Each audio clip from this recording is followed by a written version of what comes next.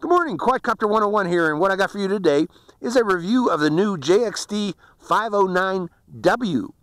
Now, the 509W model, as compared to the 509G, as you might infer by the W in it, is that it uses 2.4 gigahertz Wi-Fi signal to transmit or transmit the FPV signal not to a uh, 5.8 uh, gigahertz FPV screen, but instead to your uh, smartphone.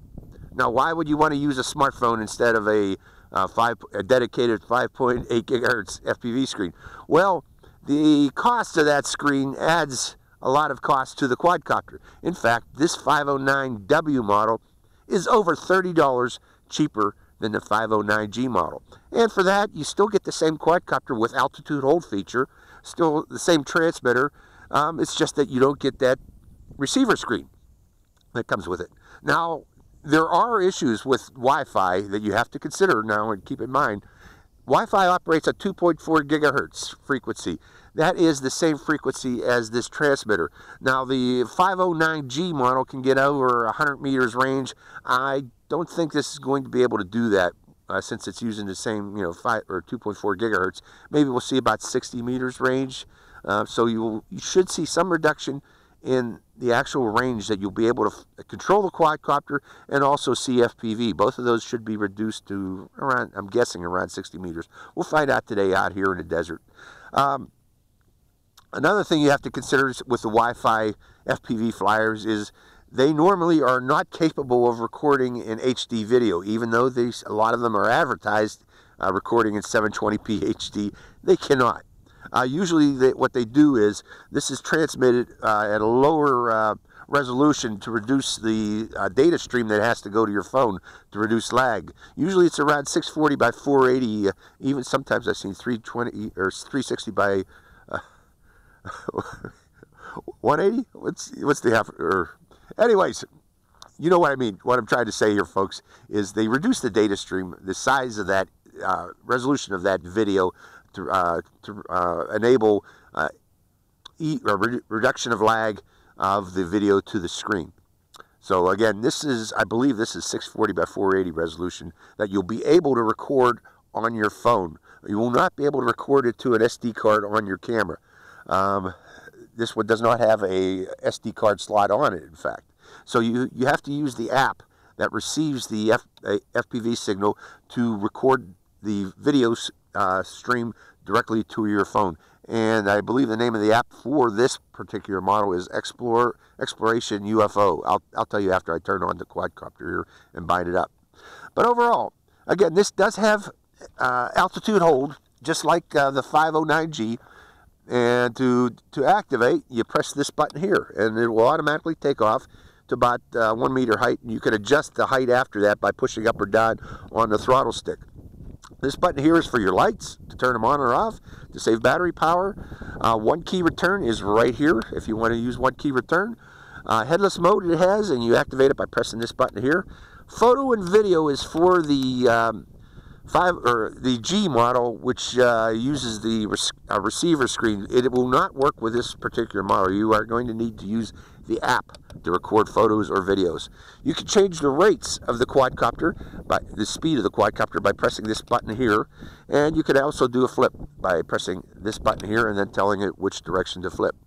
If you want to calibrate your gyros if the quadcopter is not flying steady in, in uh, hover, you can do such by moving st both sticks down into the uh, inboard side like this. And if you crash, since this is an altitude hold quadcopter, those motors might continue to run for a few seconds. So if you crash, always remember to turn off the motors and doing an emergency stop, and that is done by pulling down and out. So try to remember that, folks. If you crash, down and out. So let's go for a flight of the 509W. Okay, I have my sunscreen attached here, and I am recording the video screen, uh, what I'm actually uh, seeing on the video screen here. Let me adjust it a bit before we do that. A little bit higher. And um, I got a nice clear signal, actually. It's a very good signal. Surprised. Okay, turning on the quadcopter, or the transmitter, and binding it. And let's try that one key takeoff.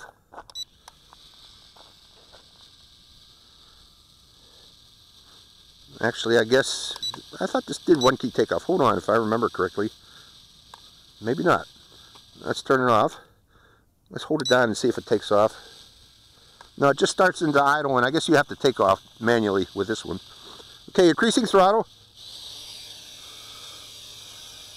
Adjusting throttle to about that height. We'll use that. It's holding that height very well. Okay, going to FPV. Well, actually, before I go to FPV, let's fly it around to show you this thing. Holding itself in the air at that height and doing a darn good job of it. That's what I like about the 509s. They are good altitude holders. they do it very well.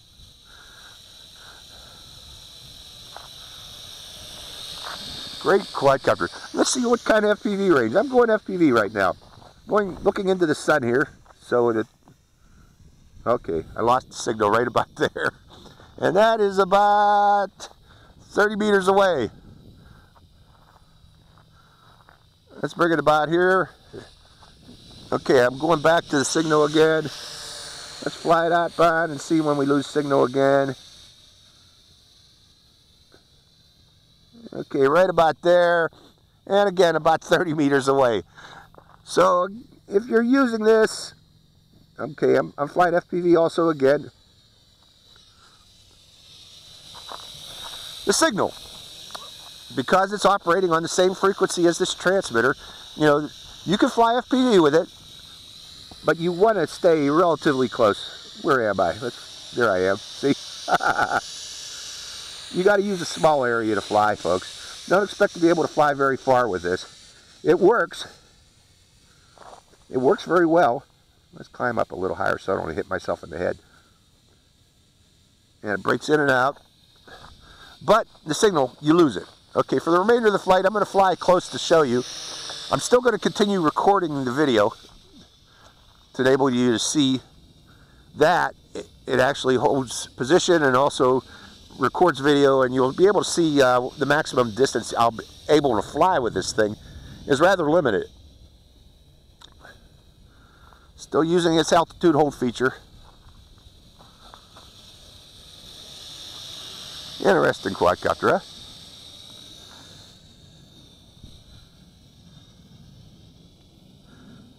Let's take it up a little bit higher. Let's go up higher a bit.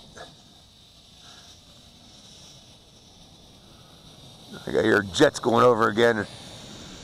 Uh, they're way off in the distance. Way off in the distance, but boy are they noisy. That's, there we go. Man, he is over 10,000 feet up. I can barely see him, yet I can sure hear him way up there. okay, I'm still getting good signal on this. By going up a little higher, I, I don't know what the deal is there. Maybe that helps to increase the range, is to put a little altitude on it.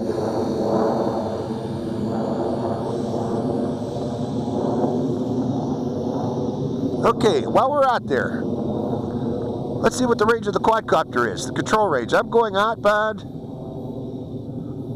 Taking it up a little higher. I got good control range on it. I'm out about 60 meters or so. Maybe a little farther. So the control range of the quadcopter is, is pretty good. And actually I got good signal too still out there. So I guess it has something to do with altitude too. Uh, let's take it up a little higher. Okay, I am about 50 feet up and at least about uh, 60 meters out. Okay, signal gets a little choppy out there. There I am. Here another jet going over. But yeah, if you take it up higher, that improves the uh, range of the quadcopter that you're able to fly at.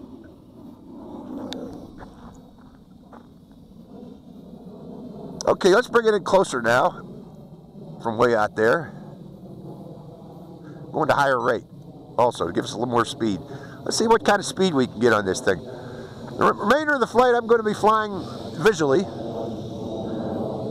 I want to see what I, this can do in terms of a flight ability. It is a great flyer, folks, even with altitude hold. Let's see if I let go of the stick and then at high speed, does it change altitude? seems to come down a little bit and then hover there, but it's still maintaining the altitude. Did we try the flips yet, folks? Let's do a flip. it can do flips.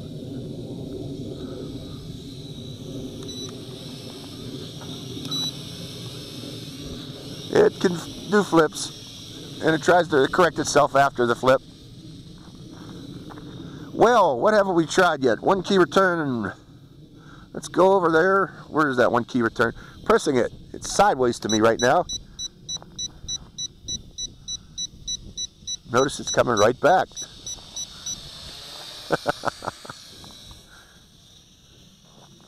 Let's go back out there again.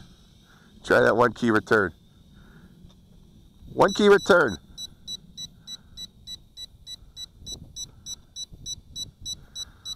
It's flying kind of back in my general direction.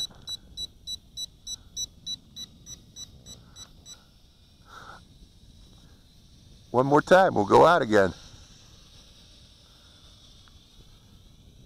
Oh no, I guess that's about it, folks.